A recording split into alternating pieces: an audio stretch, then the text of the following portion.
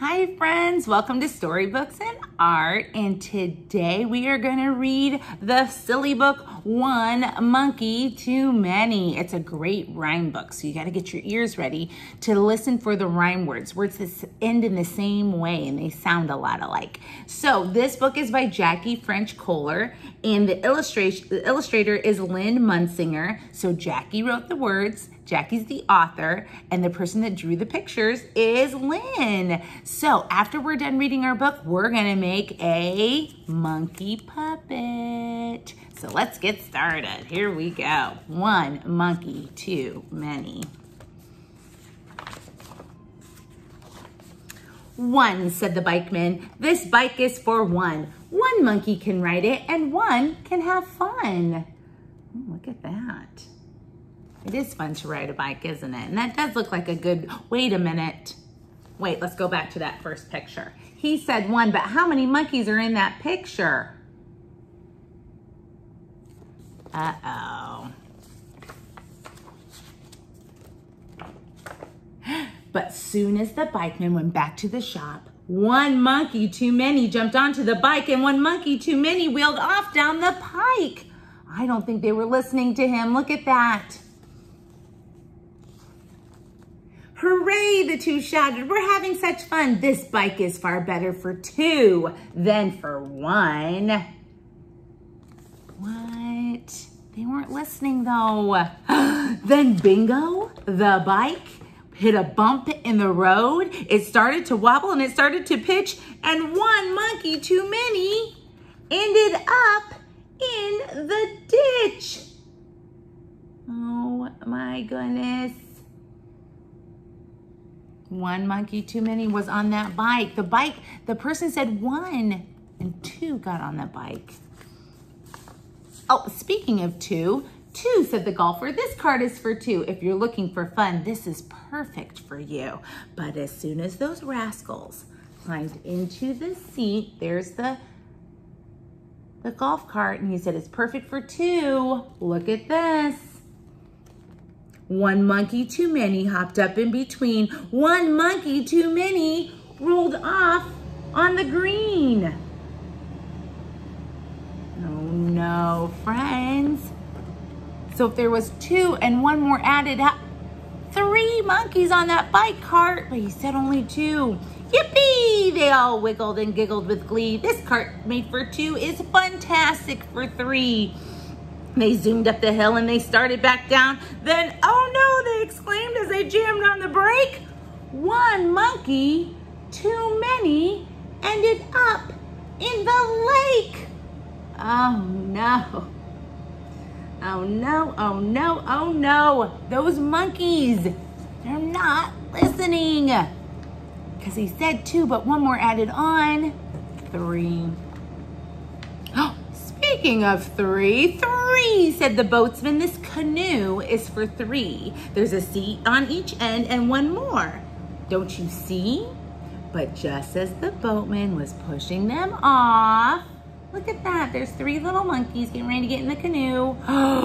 one monkey too many swung into the boat. One monkey too many aboard and afloat. So if he said there was three, but they added one more. One, two, three, four monkeys in the canoe. They paddled quite nicely away from the shore. See, they said smugly, it's just fine with four. Look at that. But soon up ahead came the roar of the falls. Yikes, they all screeched as they tried to, hard to stop, but one monkey too many had quite a long drop. Oh my goodness. They weren't listening and off they went down the waterfall. All four of those monkeys.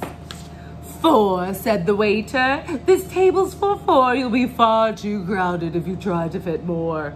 But of course, while the waiter was getting their drinks, so they're out at a restaurant now, four monkeys. They're gonna sit down. Oh, they look very fancy, don't they? Walking in, looking very fancy. One monkey too many squeezed into a seat. One monkey too many demanded to eat. See here, they declared as the waiters returned. Five fits just fine. Please do not be concerned. Wait a minute, if only four friends are supposed to be around that table, but five monkeys squeeze in, are they gonna get in a fight at the restaurant?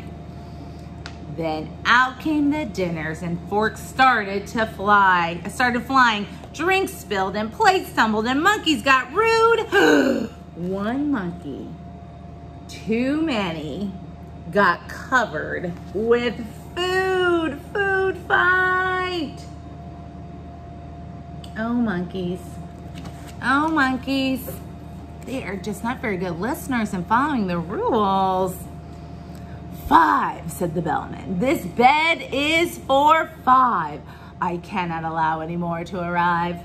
But the minute the bellman unloaded their bags, uh-oh, look, there they are. Friends, what do you see down here in the corner? Is that a tail? Is that a monkey tail? Oh no, one monkey, too many, poked out his small head. One monkey, too many, crept into the bed. See, they agreed with a stretch and a yawn. We all fit quite nicely. The bellman was wrong. So there's five monkeys in the bed. But I'm seeing, wait a minute, I think I might see more than one tail sneaking in. Uh-oh, they're really going overboard. But soon as they started to toss and to turn, to kick and to twist and to sputter and snore, one monkey too many ended up in a war. Oh my goodness, it is pillow fight time. That is too much. They're gonna get in so much trouble. Uh-oh, six, said the author. This book is for six. The pages are full, so no more of your tricks. But that noon, when the author went out for some lunch, so wait a minute, this must be Jackie. That's the friend whose name is on the front who wrote the book. That must be her. She's writing the book. She said no more than six monkeys in this book, but she went out to lunch. Uh-oh. Who's behind the door? One monkey too many keeps sneaking and look. Oh, look at all those monkeys. One monkey too many got into this book. Ah, what in the world? Those monkeys. And off they all go on the golf cart.